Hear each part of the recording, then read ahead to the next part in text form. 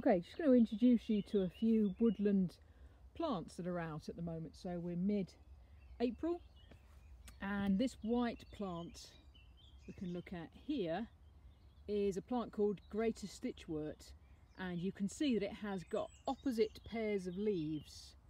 Um, a white petal, so five petals, although if you look closely they do have a notch at the end so and sometimes that's quite deep so it almost looks like 10 petals.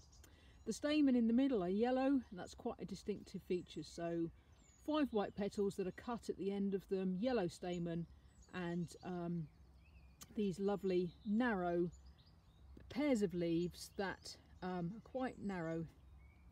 So that's Greater Stitchwort. Um, behind the Stitchwort is a plant called Yellow Archangel and there we are. So that has yellow flowers as the name suggests opposite pairs of leaves but they're they're thicker this time. And the you can see the shape of the flower is quite distinctive. It has this lovely yellow top hood to it. Um, and they go around in a little whirl. So those two are both ancient woodland indicators. We've got a lovely display of bluebells in this woodland.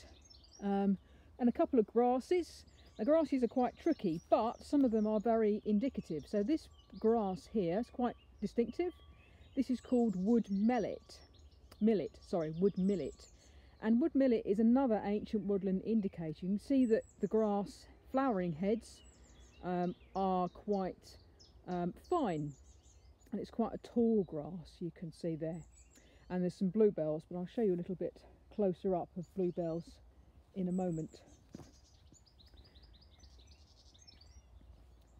And there is another grass that's again another ancient woodland indicator.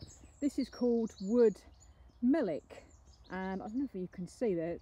So they've got little brownish um, flowers on the end of them there.